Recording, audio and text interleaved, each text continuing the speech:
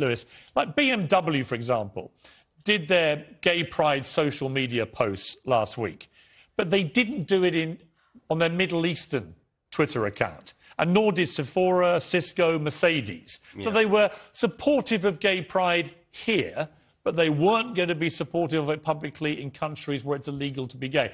That is what gets my goat about a lot of this stuff. Well, it's total hypocrisy. And, you know, it's easy to throw a rainbow flag on something in this country, mm. isn't it? Where, where they really need to be putting their effort is those countries. Yes. So it would actually have been brave of them to have done it there.